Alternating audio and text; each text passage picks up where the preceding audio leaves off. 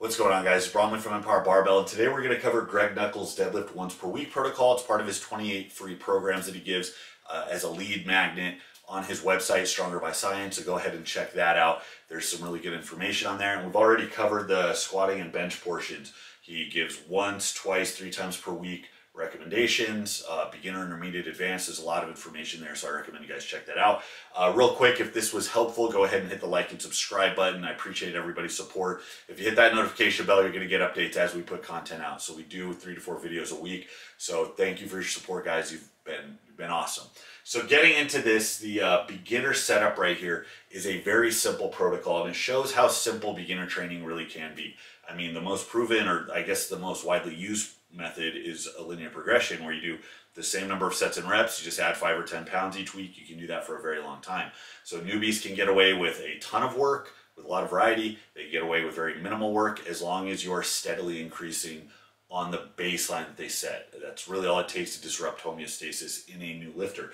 So this has a little bit more complexity than a standard linear progression. This is a wave, so I call it like linear progression with extra steps. 531 is very similar. You take a few weeks to run through a range of work where you, you go hard but at different intervals, different uh, rep thresholds, and then you reset with a little bit more weight. So that's where the linear progression comes in. Over this whole four week block, you see we go from a max 10 to a max 8 to a max 5 to a max 3. There's an element of auto regulation built in because we're not going off percentages because newbies aren't going to have a meaningful one rep max. They're not going to have a meaningful training max because they're not consistent technically with the movements. They have weaknesses. They have no business piling on as much weight as they can handle to find what their percentages should be uh, based off of. And they inc increase. Their strength goes up so incredibly quickly that it becomes irrelevant uh, every few weeks. So having something auto-regulated like this is, is uh, ideal. It's ideal for a new lifter. So week one, you hit a max 10. So there's some estimation I would get. I would say that week one, you want to bias uh, like an RP8 or something where you have a little bit in the tank that leaves you room to increase every few weeks. Uh, but this doesn't have to be exact, exact. But get a good idea of a very hard, crisp, technically sound 10 reps. Uh, then you're going to keep the weight the same. You're going to do three sets of five with the same weight. So that's where your volume comes in. And then that's going to drop steadily as you up the weight and as each day you kind of reset what that training max is as the reps drop. So this is a really solid approach. I'm a, I'm a fan of this one. Um, I would say that this goes very easily with something like a squat program. There's no reason you can't squat twice a week with this.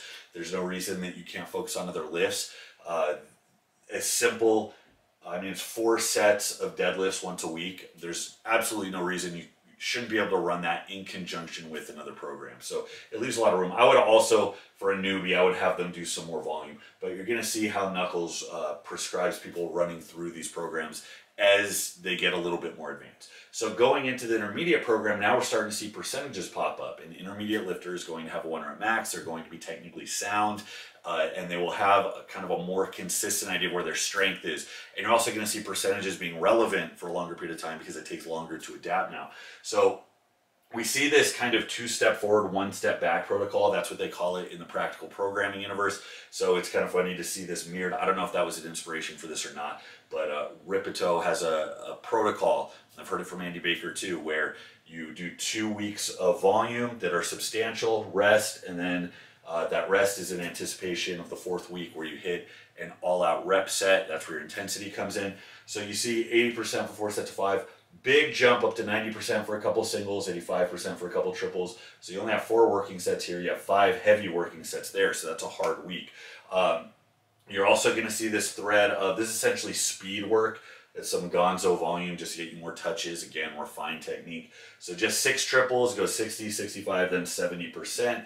Uh, and that 70% represents kind of the recovery week. And then bent rows are thrown in as accessories. So now we're starting to see how this is more of like a logical progression for an individual lifter if they were to spend time here, then go here, then go here, more so than it is beginner, intermediate, advanced in a very universal term.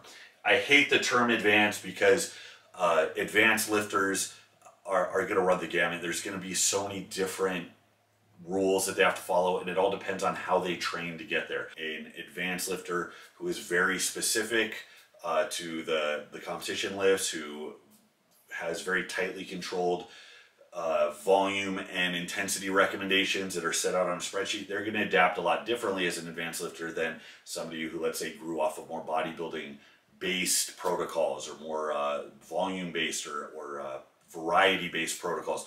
So it's very different for the individual. So this shows that uh, for advanced, it's the same protocol. He just throws in a bunch of extra volume, which when you think of like the the best deadlifters in the world, by the time you're deadlifting 800 pounds, there's some different things you have to do than when you were a 600 pound deadlifter. Um, so this doesn't directly address that, but then again, it's not really supposed to. This is just the logical conclusion. You spent some time as an intermediate in here, you ran through this an indefinite number of times, then all of a sudden you find things get stale, so now you start to kick it up a notch with volume. And this volume's easier to recover from. Sumo is very easy to recover from, so it's not necessarily going to kill your deadlift. Um, rows, shrugs, hip thrusts for volume all the way down. Uh, that's just a way to, to kick you up uh, out of uh, being stagnant. So that just shows where his logic is there. As uh, you do become stronger, specifically with something like a deadlift, uh, I actually think that there's some different implications you're going to have to follow. I mean, look, if you're an 800, 900 pound deadlifter, you're not going to be watching this anyways. But for those of you looking way down the road, when you do start to get very, very good, I mean, competitively uh, good with your deadlift, you're going to notice that you're going to have to space hard attempts further and further apart. Uh, and even this might have to uh, have to be retooled a little bit based on what your recovery capabilities are. And it's a very individual thing. It depends on your build, your leverages, um, how much of a beating your lower back takes, how good you are at bracing, uh, do you use a lot of legs when you pull, are you very high hipped? There's so many things that are innate to the individual that's going to vary across a big group of people that you can't really put one rule on what an advanced lifter should do. But this is still a logical progression nonetheless, going from beginner down to somebody who is stronger and more competitive. So these gives you this should give you some really good ideas on how to work your training so that uh, you can continue progress in the face of stagnation. Sometimes it's as easy as pushing hard efforts further apart with a recovery week. Sometimes it's as easy as adding in a little extra volume. I know you guys hate your volume, so a lot of you will end up slacking. Oftentimes that is a recommendation for what you guys need. More work while maintaining your recovery capacities. So all in all, I, I like his uh, progression here. I like I can see the, the logic in where his head's at in recommending these uh, these changes cycle to cycle. So again, this should give you some good ideas on how to incorporate these type of moves into your own training. So if you try these, uh, go ahead and report back to us. You can go on the forum, empire-forum.com, leave a comment in the comment box. Let us know how it went, if you had trouble, and uh, any other questions you have, go ahead and leave them. Until next time, this is Bromley from Empire Barbell. I'll see you.